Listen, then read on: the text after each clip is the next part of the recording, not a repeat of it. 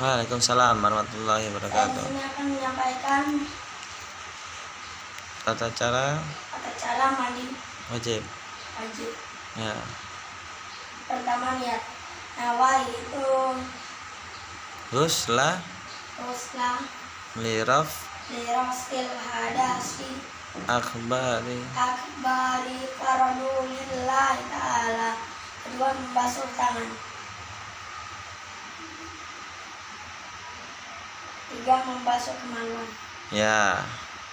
Habis masuk kemaluan. Keempat, kemudian keempat mencuci tangan kem balik kembali. Ya.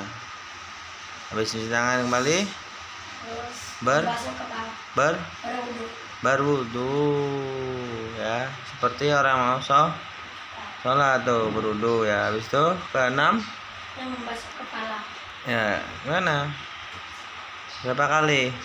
Tiga. Ya habis membasuh kepala? Membasuh sela-sela kepala. Menyela-nyela.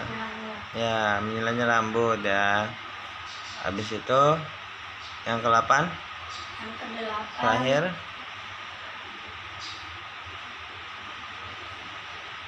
Mengguyur mengguyur seluruh. seluruh tubuh.